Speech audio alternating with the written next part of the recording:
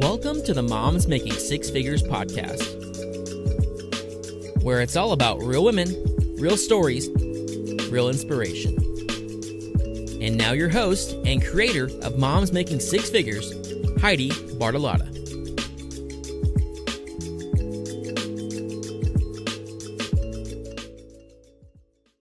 Hi. Hi. Thank you for doing this. Of course. So, I thought it would be nice to start out talking about your background in media, which is years and years and years and years, really. You came up in it. I grew up in it. Yeah. Yeah. My Yeah. whole life. So, maybe talking about that and then how you transitioned into more of an entrepreneurial business. Okay. Um, you know, I, I grew up in the radio industry. My parents really believed that um, kids who weren't busy were kids that got in trouble. so if I wasn't on a sports field myself, I was working at the radio station, which was a fun thing to do because it was kind of the radio station that everybody listened to growing up anyway. But I spent my summers um, in you know in high school working in the promotions area where we do beach patrol and different things like that. And then i'd be on the request lines where people used to request their favorite songs. And um, i worked really in every department including you know doing a few commercials. Um, so i really grew up in the business. So i, I, I felt like um, you know when i was out of college, I, I, was pretty prepared to go to work and I knew what I was going to do.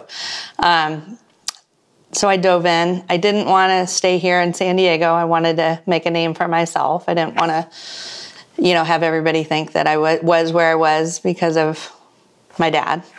Um, and so going to college at USC, I decided I wanted to stay in Los Angeles. I interviewed for all kinds of jobs at, you know, a very busy radio market. Um, and a lot of the people challenged me. They said, well, why would we train you when we know you're eventually just going to leave? Mm-hmm. Um, so I did end up getting a job. Um, and then I traveled a little bit, um, went uh, backpacking in Australia and New Zealand. And I said, I'm never going back to Los Angeles. The world has so much more to offer.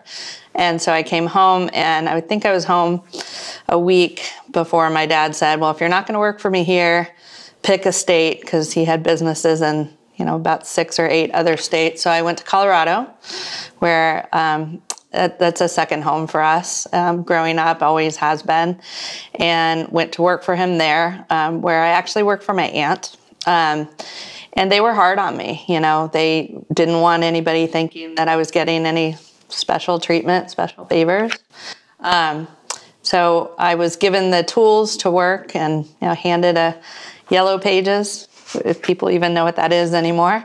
Um, that was my lead source. And I just started doing the work. And I kind of had a chip on my shoulder because I was treated a little bit different. You know, there were everybody looking over their shoulder, the boss, you know, owner's daughter. Um, so I had a lot to prove. And I think a lot of that comes just from competitive spirit of being raised in a house of athletes. And yeah. so kind of just pursued, um, you know, really working hard and set out to make a name for myself. So let me ask you a question. So I think that um, you have an insane work ethic, and I've watched that in you, which obviously started when you were very young. And we have so many listeners that are aspiring to grow in their careers or in their businesses. And what would you say to someone that's maybe younger, starting out where they are? What do you think one of one of the things that um, really has helped you over the years? I know your work ethic is one of them, but what are some of the things maybe that have really helped you to excel in your careers? Because you've had different careers, yes, many of them in media, but you've excelled in all of them. Yeah, I mean, I think you have to have a plan and a goal. You you know, you can have dreams, and dreams are great, but if you don't have, um, a, a, a a map to get you there, um, and something to really follow, and um, you know, a, a roadmap really. Um, then you're not going to achieve those dreams. So it's great to dream dream big, um, but I would say you got to dig in and commit and really decide why you have those dreams and what you expect from them. Um, and then you have a plan in place to achieve them. And I like to break things down in more bite-sized pieces because there's sometimes the big dream seems a little bit overwhelming. Um, so if you break it down in just tinier chunks, 90-day increments, 60-day, um, you know, six months at, at, a time. But I'm big on you know um, vision boards and dream boards and you know a plan. If you don't have a plan, it's really hard to get from A to Z. So mm-hmm. it's great advice.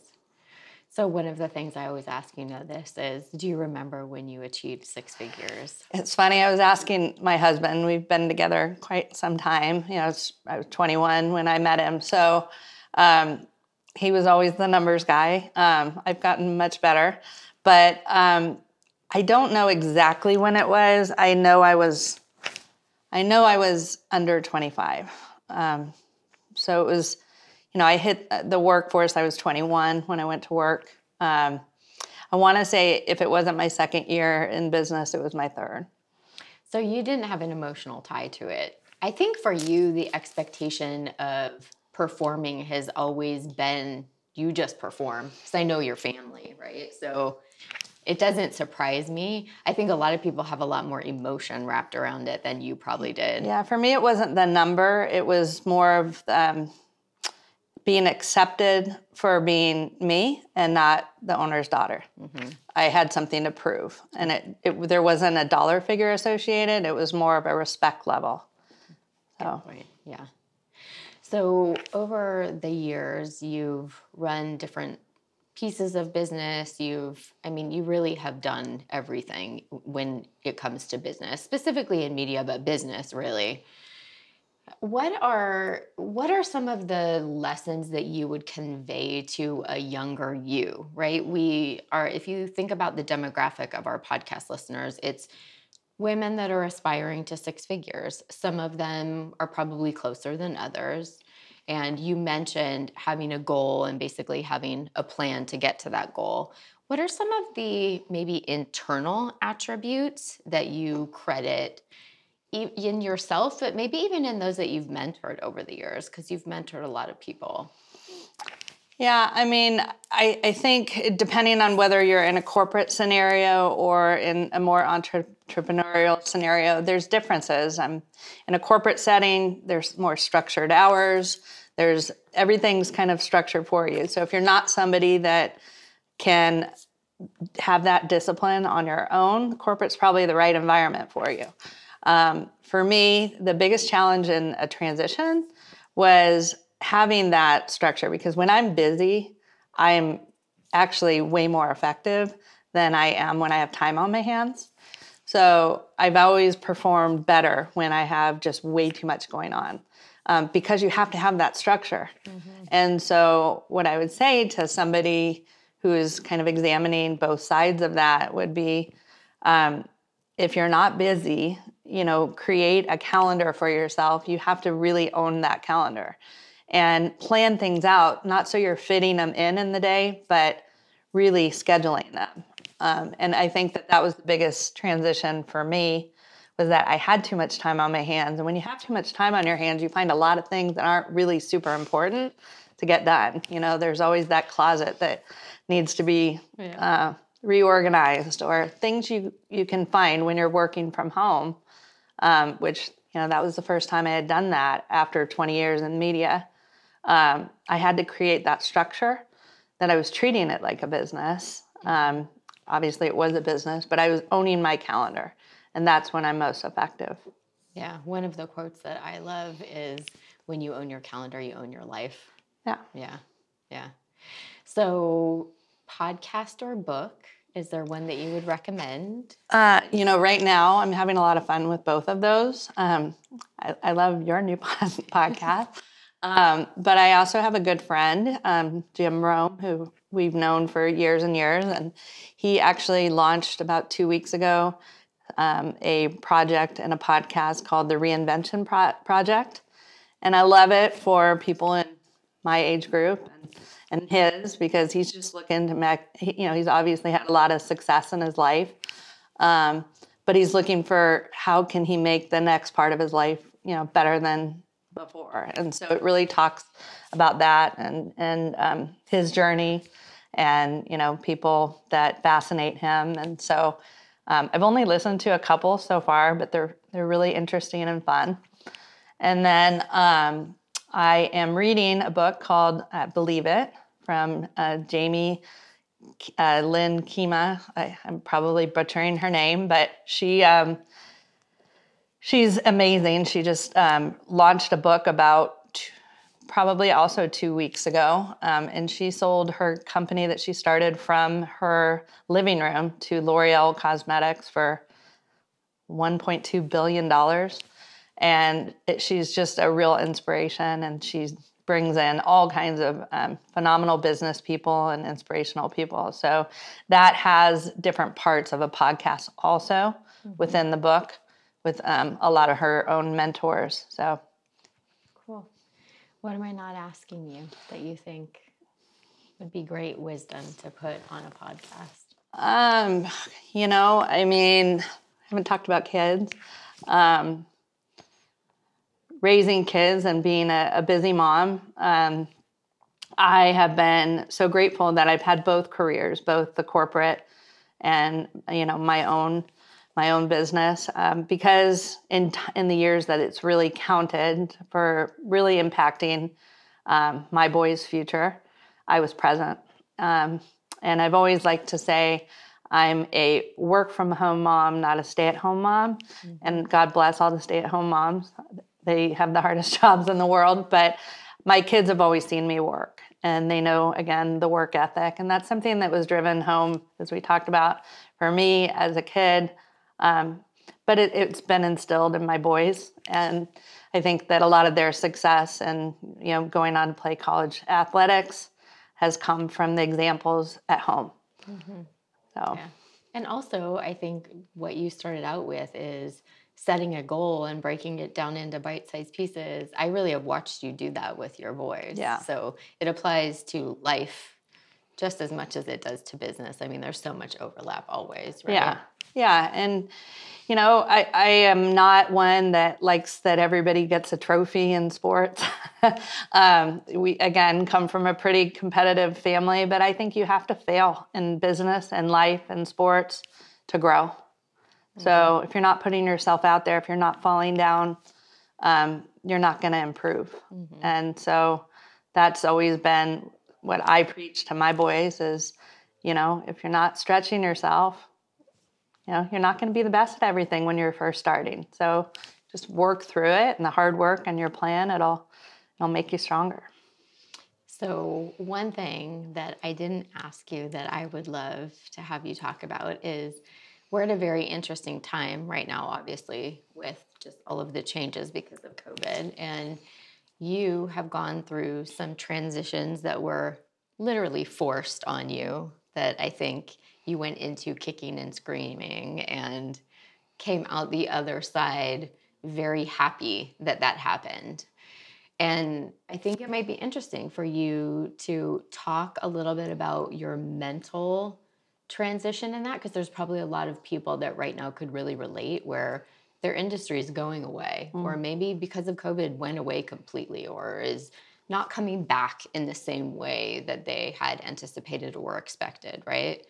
Um, and that shift that you went through in your career i think you would say was a very positive thing but maybe didn't feel like it at the time. oh, absolutely. Um, so when I made my transition, uh, it was 10 years ago, and it's probably in 2010 the closest that we are to where our economy is and the amount of people that had been laid off. And um, I found myself at that time really wanting to just reevaluate where I wanted to go. And I had opportunities to stay in media, immediately replace my income, probably even a little bit with an upside. And I um, I just decided no, I was done with that. I needed to really prioritize things. And yes, I needed that income, but I needed it on my terms and for my kids. Um, so that's what led me in the direction of, you know, um, making a change. But I didn't think it was something that I would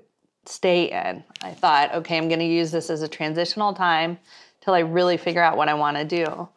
And um, yeah, it was a little bit forced on me. However, it was a very, it ended up to be the best thing in the world. And um, I, I, wouldn't trade the last you know, almost 10 years that I've had this part of my life um, just to, to be a, a, very present mom, to help other moms to do the same. Mm-hmm. Um, you know, the, the mentorship sometimes is um, having fun and celebrating others is is um, helping them achieve their goals. It's it's you know you know it feels better than your own achievements. Mm-hmm. Um, and so what I would say is it's a scary time for a lot of people right now, and I think a lot of people have not come to grips that yes things are getting better, but I don't think they're ever going back to what they were.